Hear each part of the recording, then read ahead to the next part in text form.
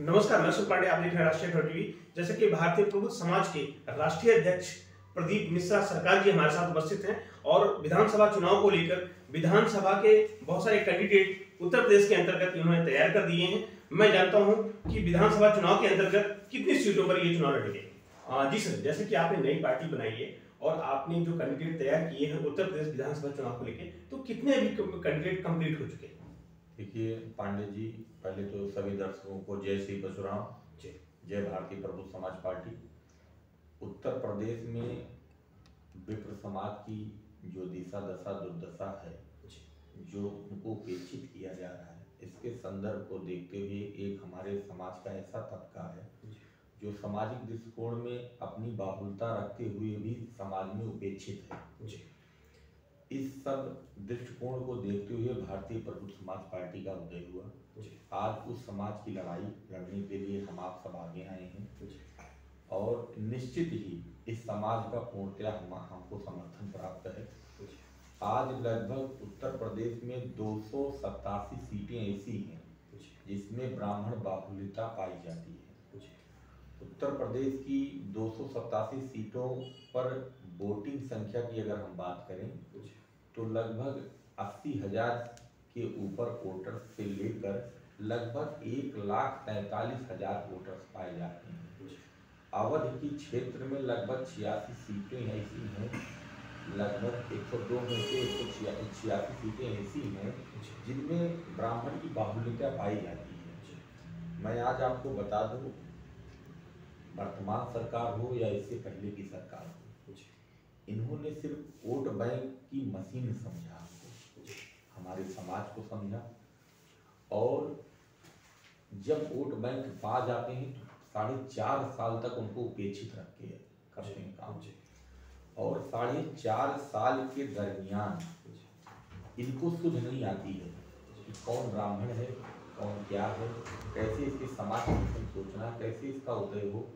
इन सबको नहीं पता है सृष्टि की संरचना से लेकर आज तक अगर भारत उदय की बात करें विश्व गुरु बनाने की जो संकल्पना और परिकल्पना ये देखते हैं, उसमें कहीं ना कहीं बहुत बड़ा रोल विप्र समाज का है। इन सबको देखते हुए आज अगर विप्र समाज को आप उपेक्षित करेंगे तो कैसे परिकल्पना की जा सकती है कि भारत विश्व गुरु बनेगा? क्योंकि संत सनातन धर्म की रक्षा हिंदू जन जागरण की रक्षा हिंदू जन जागरण सिर्फ़ अगर समाज में अग्रणी कोई भूमिका निभाया है तो वह विप्र ही समाज है।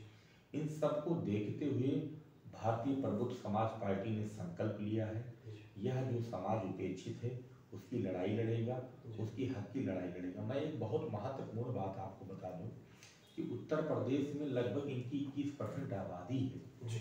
जिनको आज तक की सरकारों ने सिर्फ़ छुपाया मैं गूगल पे डालता हूँ, कोई कहता चौदह परसेंट दिखाता कि कोई अखबार कहता आठ परसेंट है, कोई कहता बारह परसेंट, कोई कहता सात परसेंट है। 2017 से मैं निरंतर इस समाज के लिए कार्य किया। और इस गणना, जनगणना को हम लोगों ने केंद्रित करने के लिए और काउंटिंग इनकी जब किया तो ये मैं हास प्रस रह गया कि आज उत्तर प्रदेश में हमारी आबादी, ब्राह्मण चौबे तिवारी पदिया पाड़े लगभग सत्रह से अठारह परसेंट है तीन परसेंट भूमिहार भाई हैं एक दो परसेंट हमारे पंथ समाज जो गोस्वामी है गोसाई है इन आचार्य इन सब समाजों के जो अदर प्रांत से आके यहाँ पे प्रवासी होके नागरिकता ले उत्तर प्रदेश में रहने लगे तमाम उत्तराखंडी लोग हैं तमाम हिमाचल के हैं तमाम हरियाणा के लोग हैं जिन्होंने जॉब पाया यहाँ पे नागरिकता ले लिया यहीं पे अपना परिवार प्रवास करने लगे। इन सबको अगर हम लोग पूरा कैलकुलेट करते हैं तो उत्तर प्रदेश में लगभग इक्कीस परसेंट हमारी आबादी है। इस आबादी को देखते हुए आज सारी सरकारें, मैं उत्तर प्रदेश सरकार और केंद्र सरकार से पूछना चाहता हूँ कि क्या उत्तर प्रदेश और केंद्र सरकार के पास कोई एक योजना का नाम बता दें कि विप्र समाज के लिए उन्होंने बनाया है? कितनी इन्होंने गुरुकुल कॉलेज खुलवाए कि, कितने संस्कृत महाविद्यालय विद्यालयों को इन्होंने सृजित करने का काम किया। मुल्ला मौलानाओं को आप सत्रह से अट्ठाईस हज़ार जॉब देते हैं। आप उत्तर प्रदेश में पुरोहित समाज को आपने कितने लोगों को नौकरी दी? आज पुरोहित समाज दर दर भटक रहा है। जिस समाज ने आपके उदय के लिए कार्य किया हिंदू जन जागरण को डेली सत्यनारायण बाबा की कथा से लेकर भागवत कथा गीता ग्रंथ ग्रंथ की चर्चा पर चर्चा करता हमारे समाज को उदय करने के लिए रात दिन तत्पर रहता है। सुबह भोर से चार बजे से उठकर रात को बारह बजे तक सिर्फ़ अपने समाज अपने देश अपने परिवार के हित के लिए सोचता है हिंदू जन जागरण करता है उसको आप आप उपेक्षित करके रखेंगे। मेरी मैं, मैं भारतीय प्रमुख समाज पार्टी जिस दिन सत्ता में आसीन होगी मैं आपसे वादा करता हूँ सबसे पहले पुरोहित समाज को सृजित किया जाएगा। उत्तर प्रदेश में साढ़े अट्ठाईस हज़ार मंदिर है। आप राम मंदिर और कृष्ण मंदिर से कैसे कल्पना परिकल्पना कर सकते हैं? हर घर में मंदिर है। उनको बचाना ज़रूरी है। सर ब्राह्मणों को तब यूज़ किया जाता है जब चाहे वो नगर निगम का चुनाव है चाहे वो विधानसभा का चुनाव है चाहे वो संसदीय का चुनाव है तब ब्राह्मणों को याद किया जाता है। उससे पहले किसी भी सरकार को ब्राह्मणों की याद नहीं आती ऐसा क्यों देखिए ऐसा है उनको लगता है ये प्रबुद्ध है। आज प्रबुद्ध को बरगलाने के लिए एक ही भाव भावनाएँ हैं क्योंकि हम हम ब्राह्मण बहुत शालीन होते हैं सहज होते हैं। बहुत मीठी मीठी बातों में पंडित जी पाँव लागी कर कर वो आके हमारा पैर सम्मान देकर हमारे वोटों को ले सक लेकर चले जाते हैं। अच्छा इस पे मैंने भी रिसर्च किया। क्या ऐसा होता है? जब मैं अपने समाज में जन जन तक जाके इसकी चर्चा परिकल्पना करने की कोशिश की उसकी बातों को निकालने का कोशिश की ऐसा क्या कारण है कि वोट बैंक के समय हम लोग भ्रमित हो जाते हैं? तो हमारे समाज का कहना था कि हमारे समाज का कोई अम्ब्रेला है? प्रदीप जी आप बहुत खुश नसीब है। आपको जो ताकत लगेगी तन मन धन से मैं आपके साथ हूँ। आप ऐसे एक अम्ब्रेला का जन जागरण कर दिया है। अब हम लोगों को कहीं भटकना नहीं पड़ेगा। निश्चित ही लगभग आज 24 से 25 लाख परिवारों में हमारी पार्टी पहुँच चुकी है। निरंतर तीन महीने से मैं उन धन्यवाद अपने कार्यकर्ता सिपाहियों को दूँगा जो लगभग पैंसठ जिलों में बूथ लेवल तक कारखानी गठित कर कर डेली जन जागरण कर रहे हैं। लोग कहते हैं कि आप दिखते नहीं हम दिखने वालों में से नहीं है।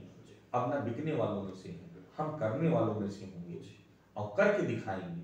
निश्चित ही हमारे समाज का परिवर्तन होगा। एक भी आयुष्मान कार्ड है आप ब्राह्मण समाज का बना हुआ था ये। उसमें ऐसा क्लास डाल देते हैं आप आप मंच से कहते हैं मैंने बैकवर्ड को इतना दिया एससी को दिया आप आपके कंठ से क्यों नहीं निकलता कि मैंने इस समाज को भी कुछ दिया?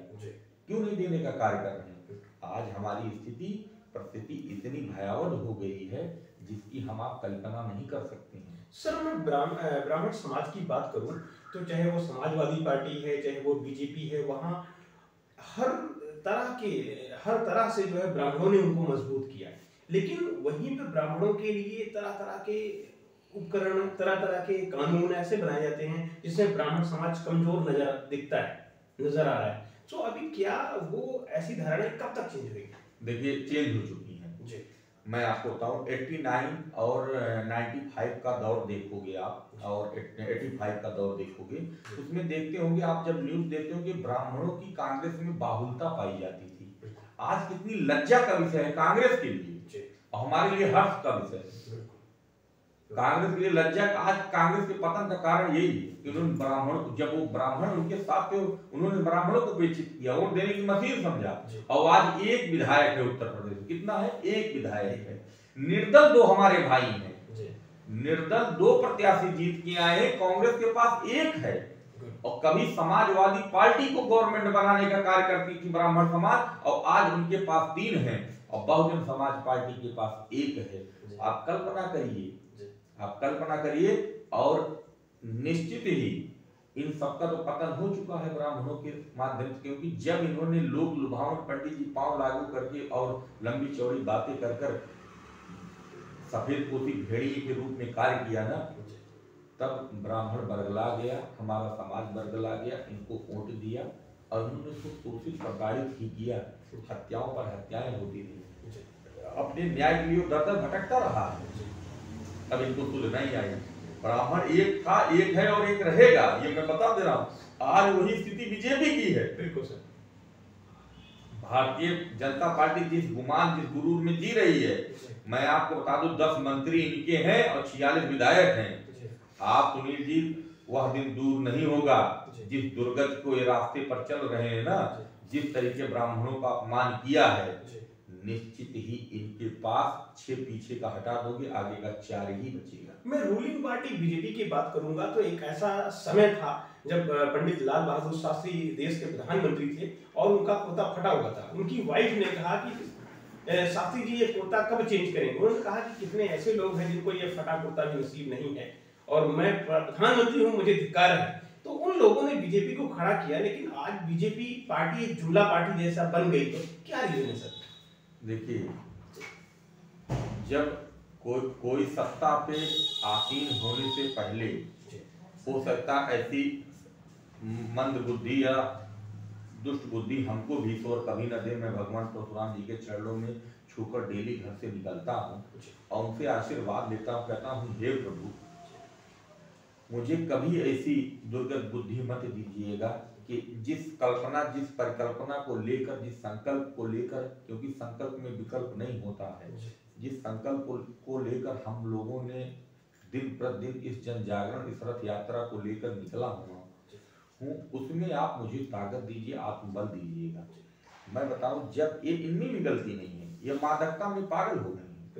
जब इनको जब इनको ज़रूरत थी इन्होंने लिया लेकिन अब एहसास हो रहा है आप सोचिए, लज्जा का विषय आपके पास छियालीस विधायक हैं दस दस कैबिनेट मंत्री हैं दस से बारह आपके पास फोरम में चेयरमैन है, उपाध्यक्ष हैं, तमाम आपके पास ब्राह्मण कार्यकर्ता हैं, उसके बावजूद भी आपको ब्राह्मण कोर कमेटी बनानी पड़ रही है। क्या आपको अपने विधायक, अपने मंत्रियों, अपने कार्यकर्ताओं पर विश्वास नहीं रह गया है?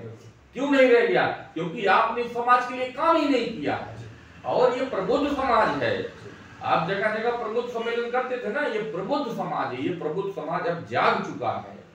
और पहचान रहा है अपने आप को। कैसे हमको इतनी फॉलोइंग मिल गई? लगभग पैंतीस लाख परिवारों तक हम लोग पहुँच चुके हैं। आप कल्पना नहीं करेंगे, सुनील जी, आने वाले समय में मैं मानता हूँ, हो सकता वोट परसेंटेज कहीं मेरा कम हो, लेकिन आने वाले समय में भारतीय प्रबुद्ध समाज पार्टी के बिना सरकार ये नहीं बना पाएँगे। जो ये परिकल्पना जो ये सपना देख रहे हैं वो अधूरा ही रह जाएगा। किसी भी सरकार के लिए भारतीय प्रबुद्ध समाज पार्टी ज़रूरी है। राष्ट्रीय कमेटी से बात करने का धन्यवाद जैसा कि प्रदीप मिश्रा जी का कहना है कि आने वाली सरकार अगर बनेगी तो उसमें प्रबुद्ध समाज पार्टी का अहम रोल होगा। मैं पांडे राष्ट्रीय खबर टीवी लखनऊ। ताज़ा खबरों से जुड़े रहने के लिए सब्सक्राइब करें राष्ट्रीय खबर टीवी। और बेल आइकन दबाना ना भूलें।